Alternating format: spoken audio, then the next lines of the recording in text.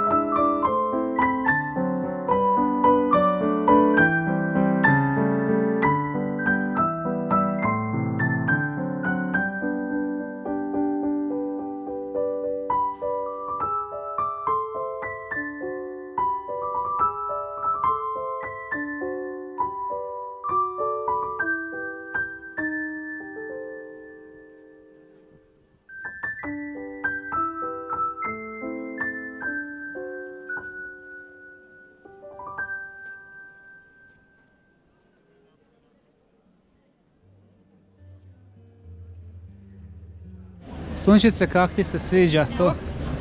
Prva liga. Kak se to zove? Ne znam. Trdeljnik. Da. Ili Cinema Rolls, je? Da.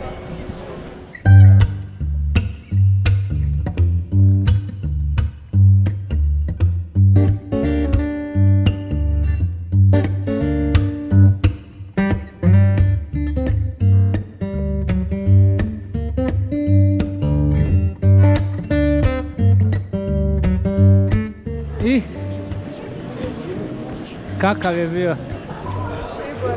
O, Sunčica je naučila i češki malo. Bravo, bravo. Kak se još neka riječ kaže na češki? Djekuji. Bravo. Krumpir, kak se krumpir kaže? Brambori.